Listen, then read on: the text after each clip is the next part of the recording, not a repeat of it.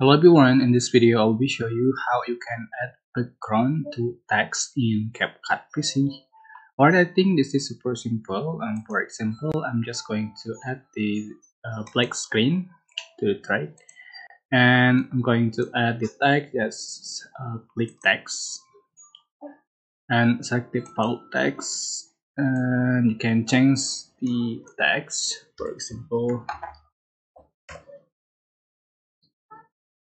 Alright. Can resize. And how you can add the background to text. So you can uh, scroll down in the basic option and you can find the background option. Just turn on and select the color background. Uh, you can adjust for the opacity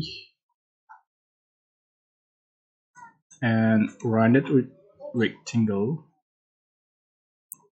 but I, I, I don't um, use it and you can adjust body height, white, and the option and other option here. Alright, that's how you can add the background to text in CapCut PC. I hope this tutorial was helpful for you.